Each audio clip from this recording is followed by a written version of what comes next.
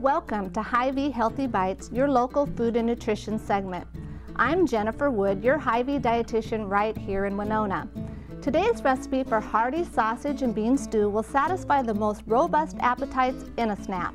It uses canned beans and tomatoes, so little preparation is needed. Beans are packed with protein, fiber, folate, vitamin A, and iron. They're also a great source of soluble fiber which soaks up cholesterol and removes it from your body. Now, to make today's delicious recipe, you'll need two medium potatoes that have been peeled and diced, a half a pound of smoked turkey sausage, one cup of diced yellow onion, three cans of beans that have been drained and rinsed. Today I'm using pinto beans, black beans, and kidney beans. You'll need one can of tomatoes, um, diced Italian tomatoes, and also a 32 ounce container of low sodium chicken broth. Now to get started, you'll start with putting the onions, and the sausage in a medium frying pan.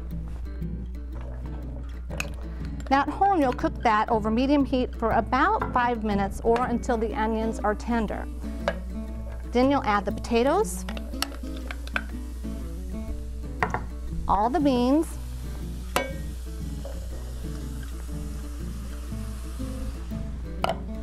and the Italian tomatoes. And then you'll add the chicken broth. It's just that simple. When everything's added, you'll want to stir it well and heat it over medium heat till it's boiling.